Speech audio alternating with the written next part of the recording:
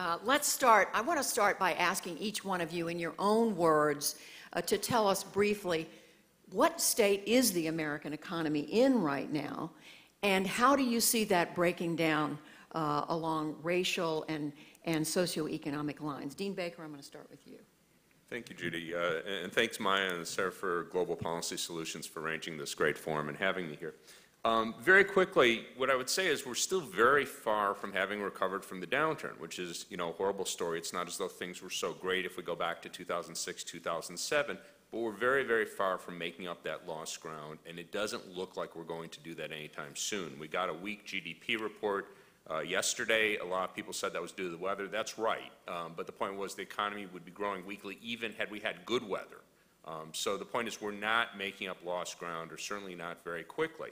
And that's a really big problem. I mean, sometimes we talk about GDP like it's a baseball score, but the point here is this is people's lives. So, you know, again, the most important numbers I could think of, if we look at the job market, the unemployment rate overall doesn't look too bad. We know that the employment rate, the percentage of the population employed, is still down by around three percentage points. That's about four and a half million people from where it was before the downturn.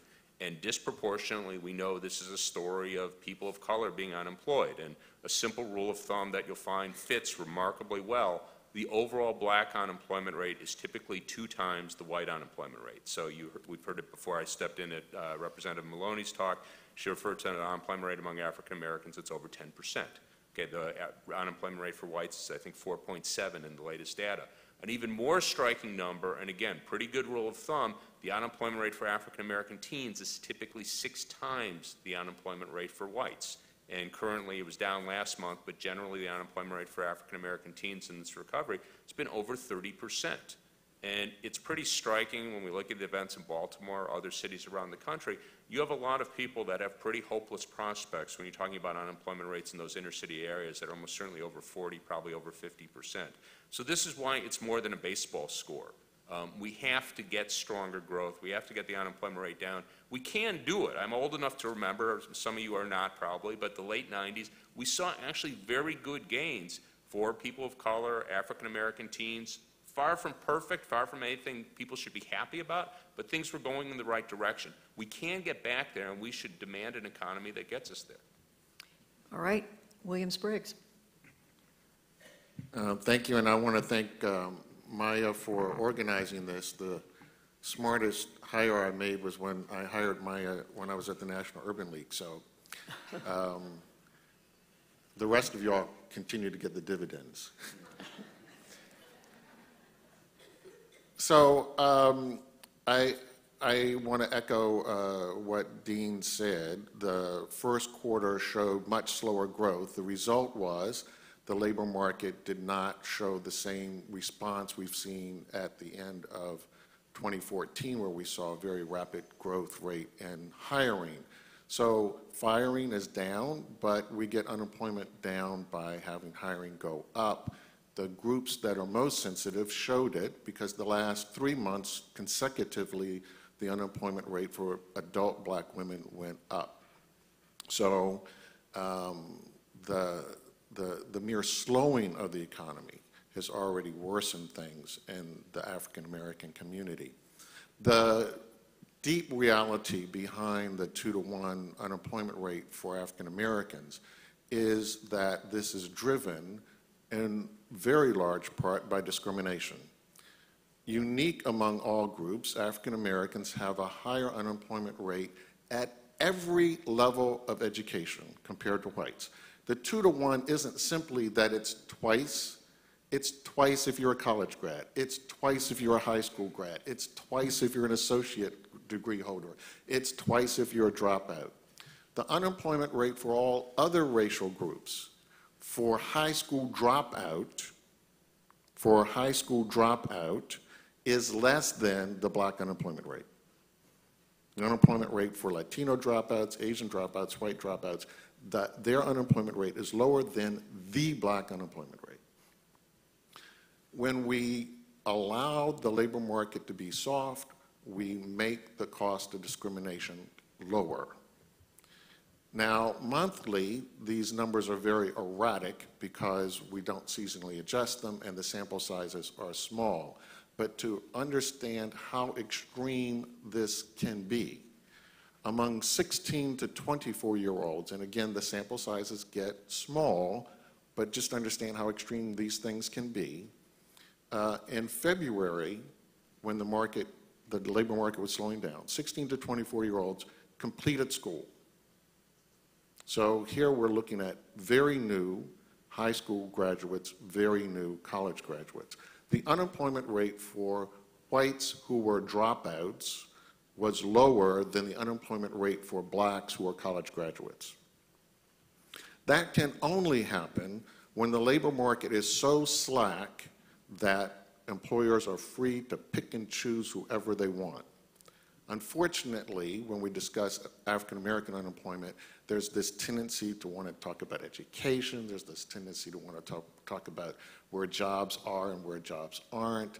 Uh, but we know from many match pair examples where we take two people, same resume, and send them to the employer, we know that you get different outcomes when the employer can identify the applicant as being African American.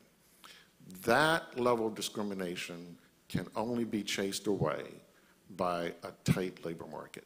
So, so the reality is that, as Dean said, we're a long way from getting back to full employment. And, it, and as Dean was saying, it's not getting back to 2007.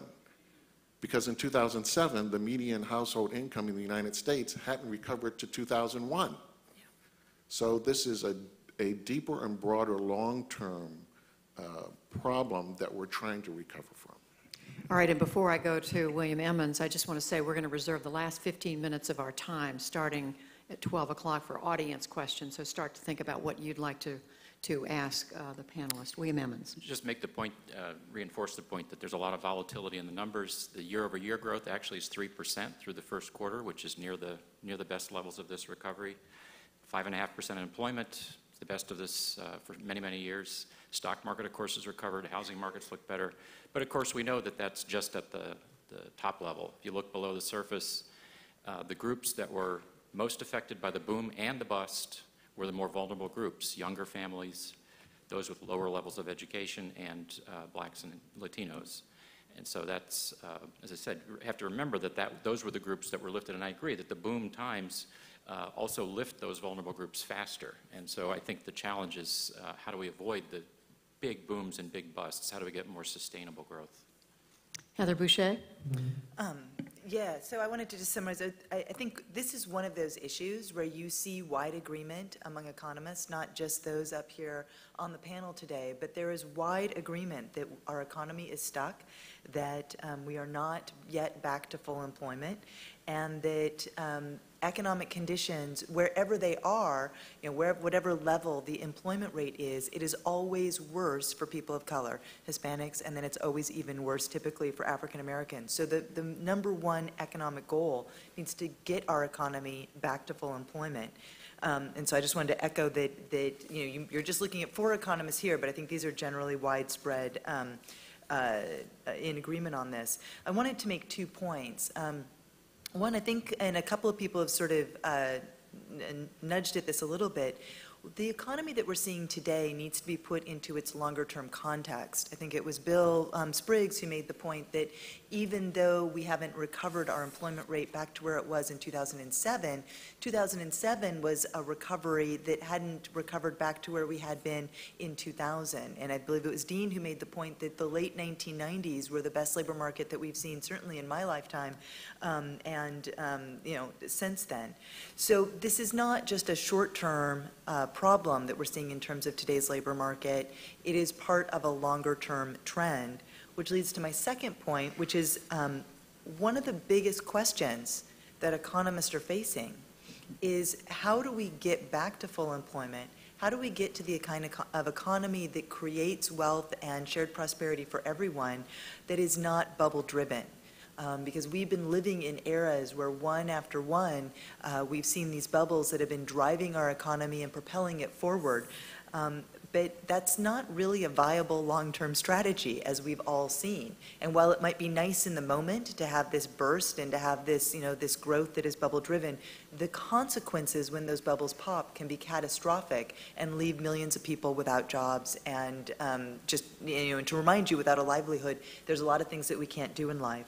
So I think one of the, I know as we get forward in this uh, conversation, I hope we can start talking about some of the, the policy recommendations, but also thinking about the ways that we can push our economy forward that isn't bubble-driven. I would like to put on the table that one of them is really taking seriously the kinds of inequality that we've seen in our economy growing in recent decades along all economic axes, and that addressing that is one way to think about moving away from a bubble-driven economy and moving towards an economy of broadly shared prosperity. Okay, well, that's a, that, that will be a good segue in a moment. Of course, I do want to get to prescriptions for uh, how to change the picture that you're all describing. But before we do that, I want to ask each one of you, I'm going to start with you, um, Bill Emmons, on this, and that is, what are the policies in place that have led to the situation we find ourselves in today? I mean, you've all touched on this, but let's, let's pinpoint that for a minute. What's, what's wrong with this picture today that makes this uh, inequality possible? Are you thinking of the overall kind of boom bust or the? Yeah, well, it- I'm talking about, uh, you know, both sort of macro conditions, but I'm also talking about policy prescriptions that have been uh, enacted by previous and current uh, political leaders. Uh, Yeah, I guess, well, let me say just a, a word on the boom bust is, is I think we were, were trying for faster growth than was really realistic in the early 2000s. And on that point, Heather, I mean, I think there is room for debate about whether that late 90s uh, burst of growth was sustainable. Yep. Um, So I think that, that created kind of a bad um, uh, overall environment of trying too hard in the 2000s, say, to recreate that, that boom of the 90s. But maybe below the surface, um, you know, you'd have to point, in- given our recent experience, to, the- to maybe the housing market, that we, you know, the way we tried to create that growth in the 2000s, to try to recreate the fast growth of the 90s, was to say that uh, we should uh, use our housing market and the wealth that was created. And, and the Federal Reserve was very much uh, in that discussion, talking about the wealth effects that were uh, across the, the population, but of course uh, increased the, the number of families that were involved. So I guess I would uh, say that that was, looking back, that was the one that has had the most impact on the most families. What else, what, o- what else would you all say is, is responsible for the situation we find ourselves in? Well, I think it's a longer-term trend. When you look back at uh, the post-World War II growth, it was that wages went with productivity. So we had broad shared prosperity because as the economy became more productive, everyone benefited. From 1980 on, we have a huge wedge between the productivity of American workers and their wages, and that creates a conundrum. Uh, We did something else in the 1980s. We de-invested in the public commons. We went to a language that was far more reliant on the market allocating everything, and now we are at the perverse level of having, without public debate, decided that college ought to be driven by tuition, when the history of the United States is that uh, colleges were out of a public endowment, out of private endowments, and this is globally the case as well. So one of the issues that gets confronted is that with productivity rising but wages staying stagnant, the bottom 80, 90% keep control of a smaller and smaller share of the economy. And the result is that you can't get the desired outcome through private consumption to sustain the economy, whether it's college or housing. And further, because the top 10% consume a way disproportionate share of private housing and college, the market price is driven to where the dollars are.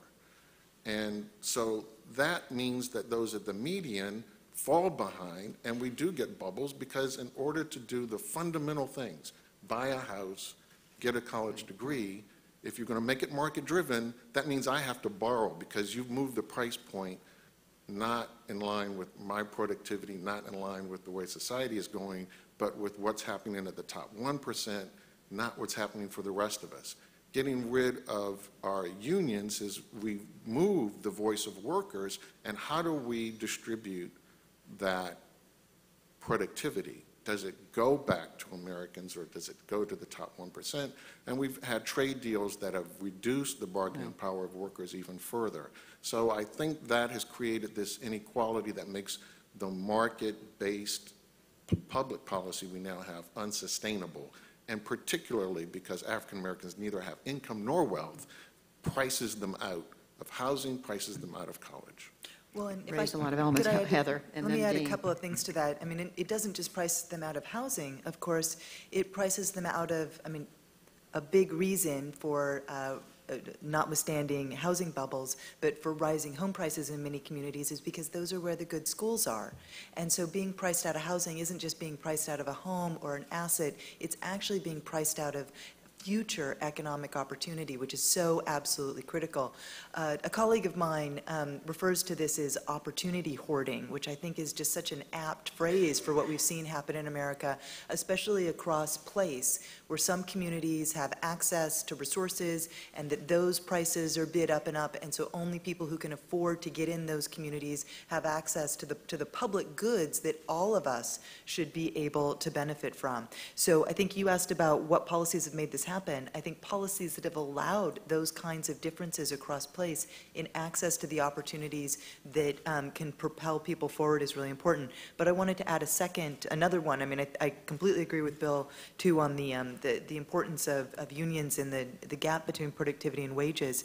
But I think we need to talk, when we're thinking about what's happened in the economy, we need to think about what's happened at the top, the middle, and the bottom. And thinking about the top, we've lived through an era that I think is not over yet of a financial sector that is, quite frankly, too often out of control.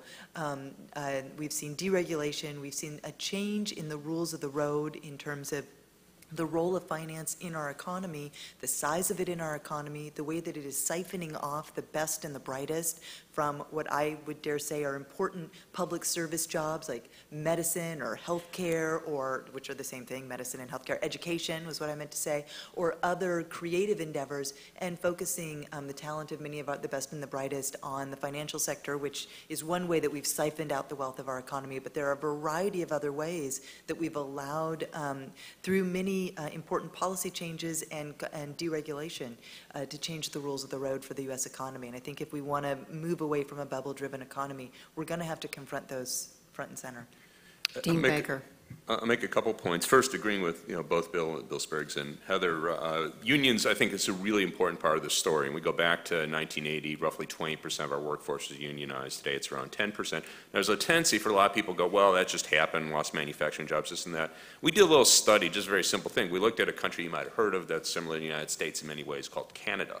Um, there, there's no comparable decline. I mean, it's down one or two percentage points, but really Canada doesn't, doesn't have a very different unionization rate today than it did back in the 70s. The point being, this was policy. You know, you could argue it was good policy, it was bad policy. They made policy choices in Canada that were consistent with maintaining reasonably high unionization rates. We went the opposite way here. I don't want to go into details here, but I think that, you know, pretty well establishes the point. The second point, just to a point uh, the other Bill, Bill Emmons was making, I want to just distinguish um, A very important point for us as nerdy macroeconomists, but, I, but again, for public understanding as well.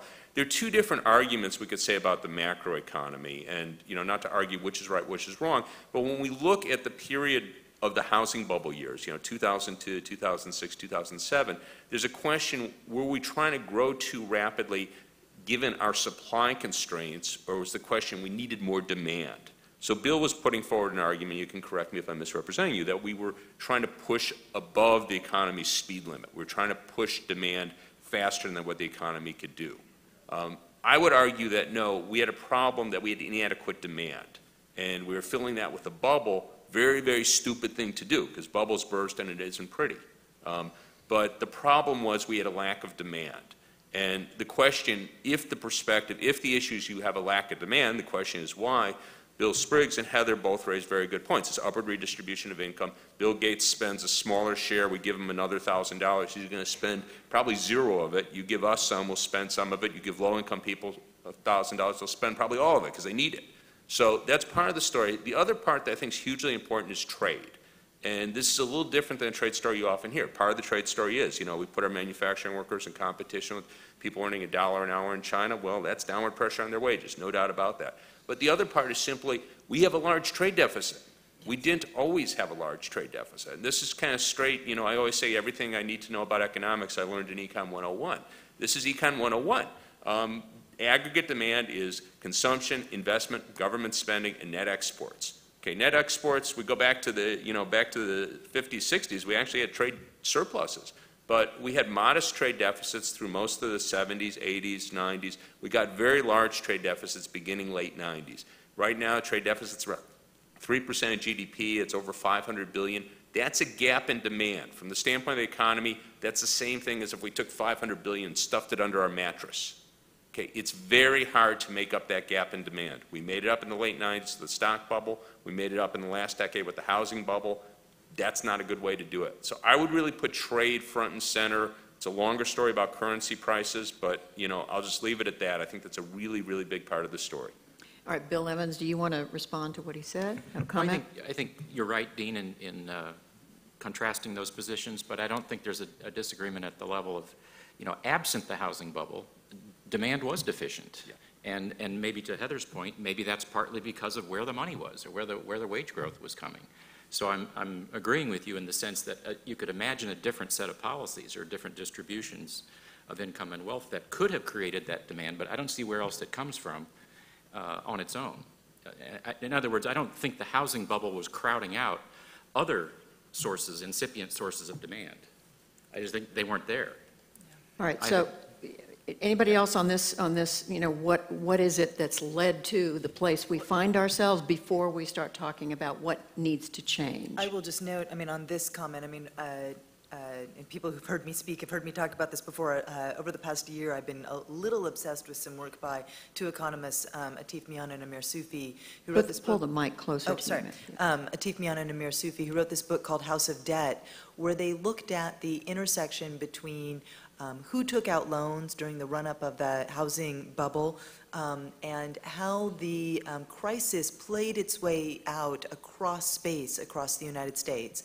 And one of the things that they found, and they, they, one of the reasons they were able to do this is because we have a lot of data now that we didn't have even 5, 10, 15 years ago that economists can play with to really understand the way that our economy looks in local areas. And um, their argument is that uh, it was the, the communities where there were more subprime loans were the ones that not only burst first, but that the, the, the reverberations through the demand in the community was stronger because those, the, those loans had been pushed on families who were um, more likely to be on the edge, lower income overall.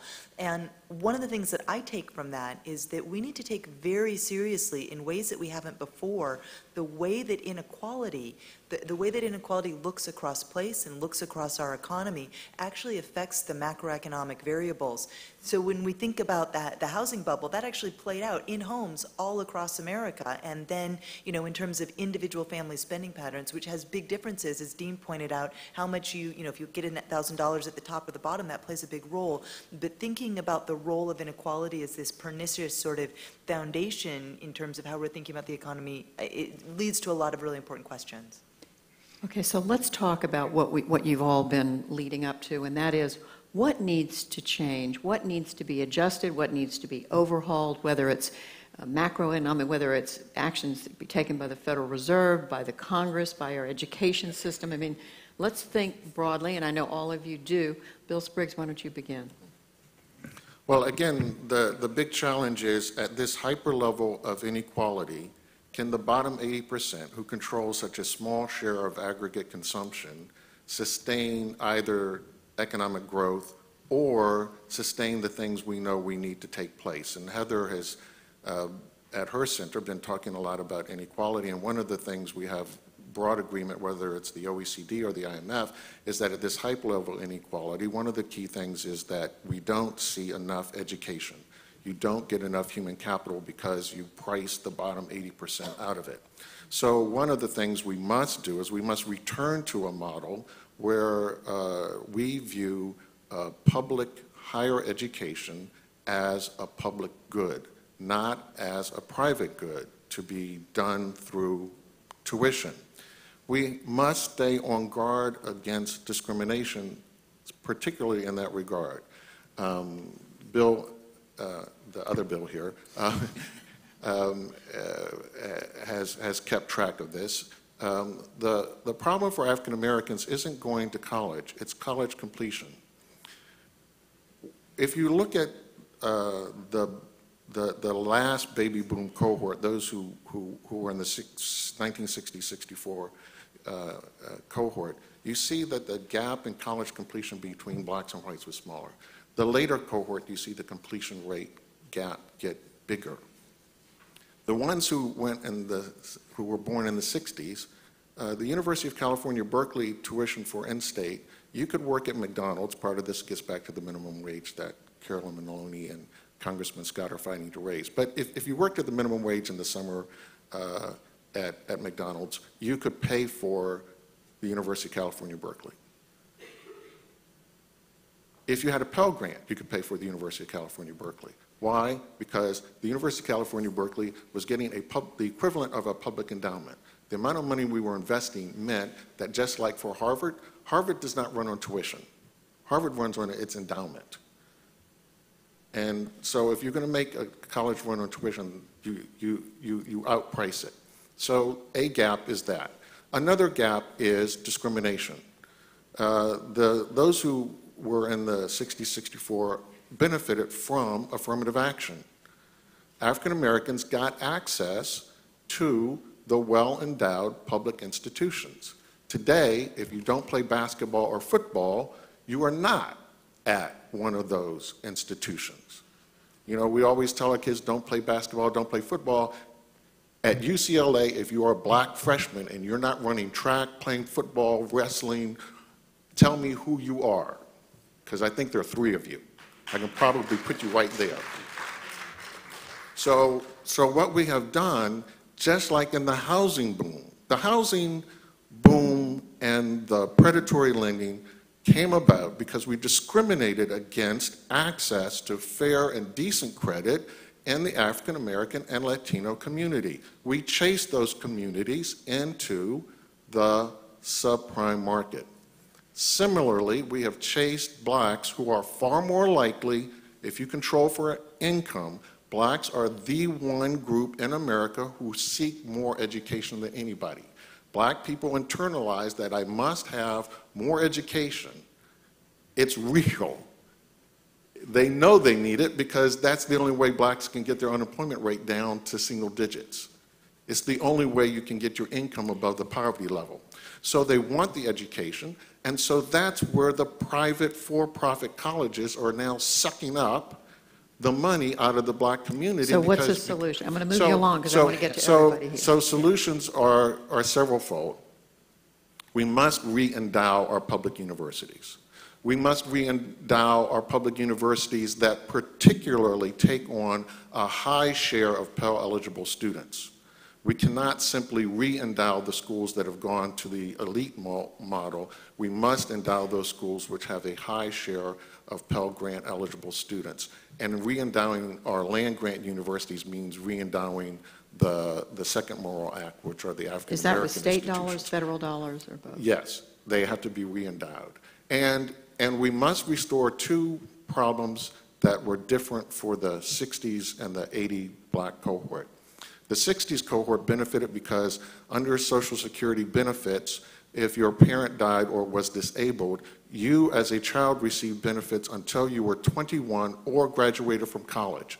When we changed that in 1981, the black college completion rate dropped precipitously because African Americans are far more likely to be in the group where a parent has died or is receiving disability. And so those students don't get that income anymore.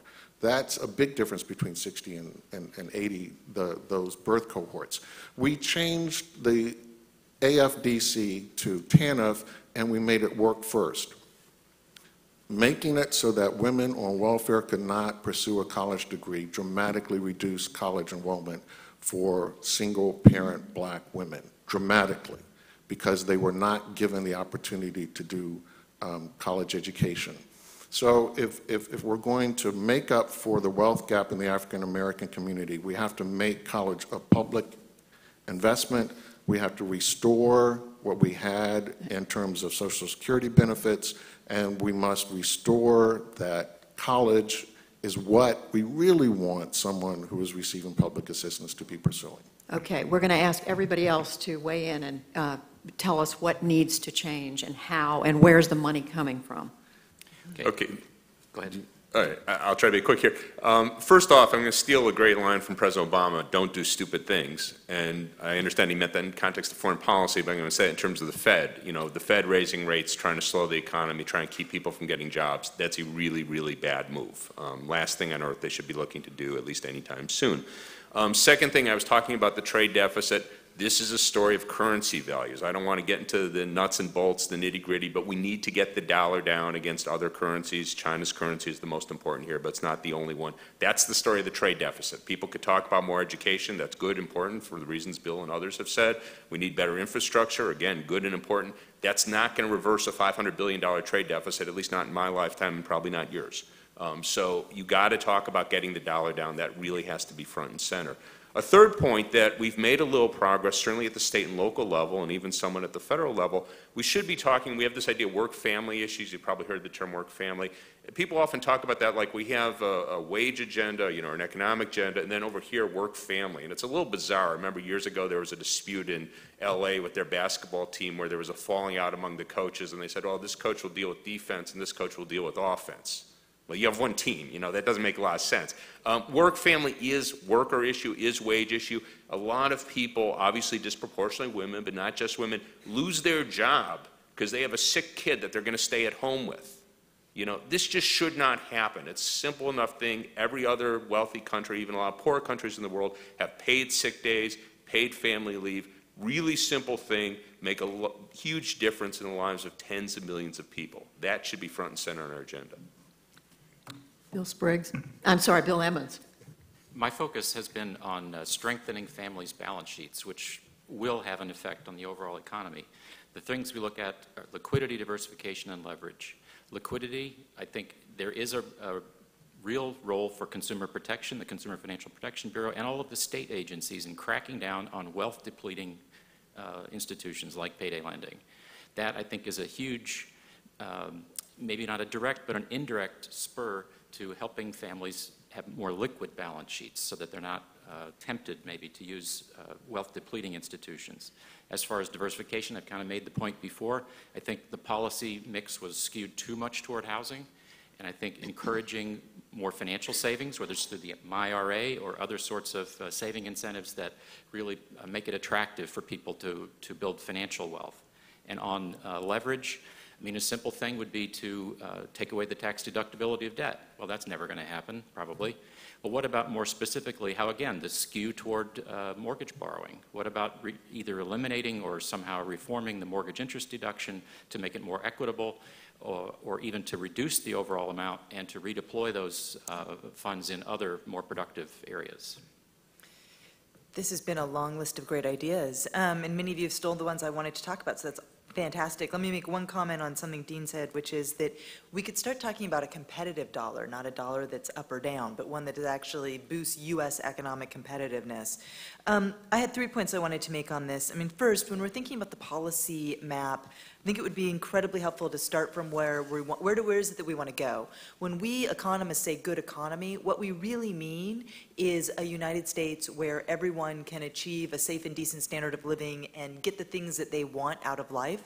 And I think starting from there and looking at all of our policymaking that affects the quote-unquote economy through that lens would be a really helpful place to start, because there's a lot of things that we would just have to sort of take out of the list because they don't actually improve shared prosperity.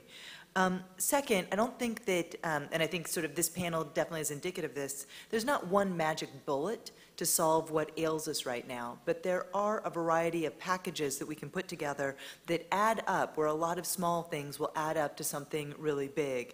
Um, you know, Dean already talked about issues around work-family, certainly the, the household balance sheet issues. There's a lot of uh, things that we need to put together, but I think keeping an eye on making sure that we're focusing our attention on how to pull the bottom up, how to strengthen the middle so that there's good jobs for people at the bottom to go into. It's one of my pet peeves when people just want to talk the bottom, and I'm like, well, yeah, but getting somebody a dollar over the poverty line does not help you if there aren't good jobs, and a lot of them in the middle for people to move up and into. Um, and that's for both men and, men and women, for people of all races and backgrounds, including um, immigrants. And we really need to be thinking about creating that strong middle again. But then what are we doing at the top? I have the honor of working with some amazing economists who work on tax policy, um, and one of them is Emmanuel Saez, who's a, a, a award-winning economist out at Berkeley, who's written a series of papers making these very sophisticated, fancy economic arguments that say that we could increase taxes for folks at the top up to 80% and it will have no bad effects on U.S. economic growth. That is a very powerful new set of empirically driven research that's now like inches high that we didn't have a few years ago that I think we really need to be taking out to the streets and doing something with. And I want to end with my third one, which is um, to focus a little bit on the focus of this panel, which is racial wealth inequality or racial inequality, which is that, I mean, this is such a auspicious moment here in the United States to be thinking about um, racial economic inequality when we're seeing all of these things happen in, happening in terms of civil rights and, and what's going on in the streets around America. I think we need to take some time to think about the inner, and I'm glad that, that the conveners of this conference have put these together to force us to take some time to think about the intersection between economic inequality and um, uh, uh, civil rights. Um, but there's some, there's a lot of things that we need to do. A couple that I've heard people talk about literally over the past couple days that I will throw out are really making sure that we're doing what we can to enforce or to make, make it not a crime to talk about pay. Um, you know, for many workers in America, if they actually talk about pay with their colleagues, what they're earning, they can be reprimanded at the workplace. But there's no way, there is no way that we can actually fight pay inequality by race, by gender, by anything else, if people actually don't know what their colleagues are making, and it used to be that unions were there keeping tabs on that, when you had a union, they knew what everybody was earning so that you could fight inequality. Right now, for most workers don't have that. They can't talk to their colleagues, and we don't have any transparency. So a couple of ideas are pushing the kinds of pay transparency that we see in the Paycheck Fairness Act, but then second, also doing something to have companies report their earnings by race, by gender, to the EEOC, so that when we see systemic discrimination, we can do something about it. All right, a lot of